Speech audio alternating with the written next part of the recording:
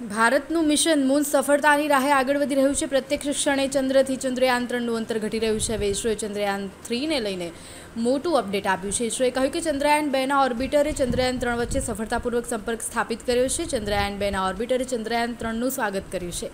અને બંને વચ્ચે વાતચીત પણ થઈ હતી. એકવીસ ઓગસ્ટના દિવસે ઇસરોએ માહિતી આપી હતી કે ચંદ્ર તરફ આગળ વધી રહેલા ચંદ્ર ત્રણ એ ચંદ્રયાન બેના ઓર્બિટર સાથે સફળતાપૂર્વક સંબંધિત સ્થાપિત કર્યો હતો. જેથી ઇસરોના વૈજ્ઞાનિકોને પૂરો વિશ્વાસ છે કે ભલે ગમે તે થઈ જાય, પરંતુ આ વખતે ચંદ્રયાન ત્રણ ચંદ્ર પર ઉતરીને જ રહેશે. ચંદ્રયાન બે અને ત્રણના લોન્ચિંગ વખતે ઇસરોના સહયોગી રહી ચૂકેલા પહેલાં ઇસરો ચીફ એસ સોમનાથ અને ત્યારબાદ એરોસ્પેસ સાયન્ટિસ્ટ પ્રોફેસર રાધાકાંત પાધીનો પણ દાવો છે કે ચંદ્રયાન બેની નિષ્ફળતા બાદ ઇસરોએ ઘણા સુધારા કર્યા છે અને વ્હીકલ ત્રણને એવી રીતે ડિઝાઇન કરવામાં આવી છે કે તે સફળતાપૂર્વક લેન્ડ કરશે. Bureau report CN twenty four news.